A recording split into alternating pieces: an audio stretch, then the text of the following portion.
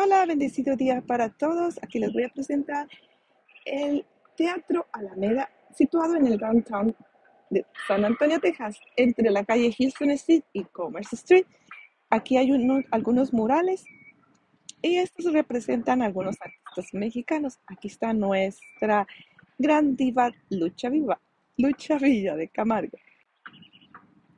Todos estos murales están hechos por esta misma persona.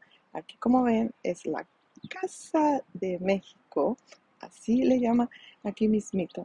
Aquí tenemos a nuestro rey. ¿Quién será?